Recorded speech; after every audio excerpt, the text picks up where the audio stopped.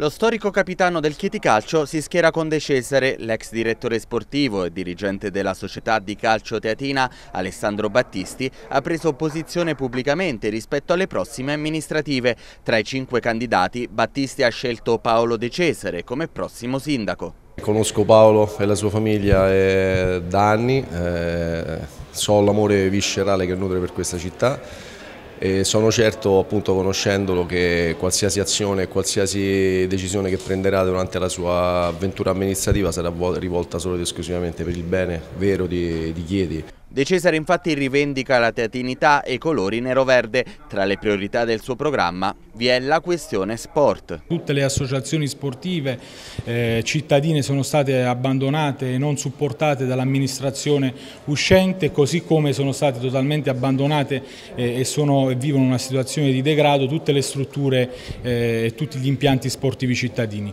Una delle nostre priorità è ripartire dallo sport, stare vicino alle associazioni sportive che portano il nome della della città in giro per l'Italia e l'onore delle cronache, nonché programmare una corretta e adeguata manutenzione a tutti gli impianti sportivi a partire dallo stadio Angelini che purtroppo, come sapete, è totalmente in uno stato di degrado. Lo Stadio Angelini, infatti, storica casa del Chieti Calcio, è una delle questioni di cui il prossimo sindaco dovrà sicuramente occuparsi. Lo stadio tutt'oggi è ancora inutilizzabile, una situazione questa che costringe la squadra cittadina a emigrare negli impianti dei comuni vicini. Purtroppo è una situazione che, che danneggia un po', un po', tutta la città, l'immagine, non solamente la squadra e la società della, della Chiedi Calcio, danneggia soprattutto i tifosi che sono costretti a peregrinare in giro per l'Abruzzo per vedere i propri, sostenere i propri colori.